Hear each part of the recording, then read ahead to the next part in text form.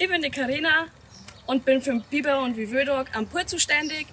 Äh, der Biber Wieweldog ist am 7. am Samstag und da dürfen wir auch die Kleinen einmal ins Lagerleben reinschnuppern.